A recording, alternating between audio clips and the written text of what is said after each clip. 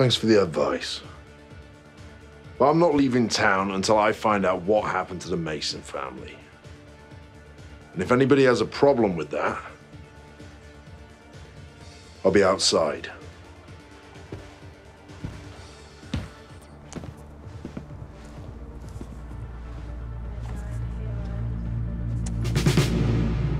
That was fast.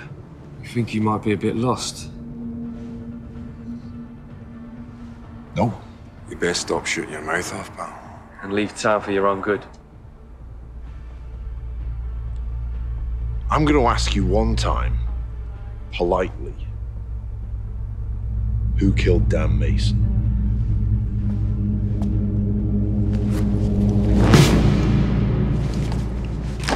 And I'm gonna tell you once. You get the fuck out of here, or you're a dead man.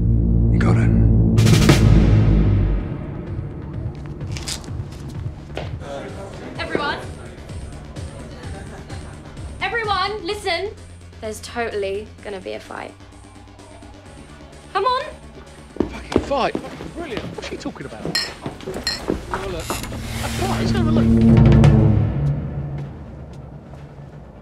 Look, we're trying to be reasonable here. We.